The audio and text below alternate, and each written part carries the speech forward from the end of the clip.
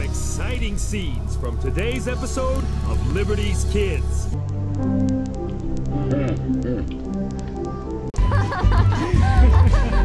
Little strokes fell.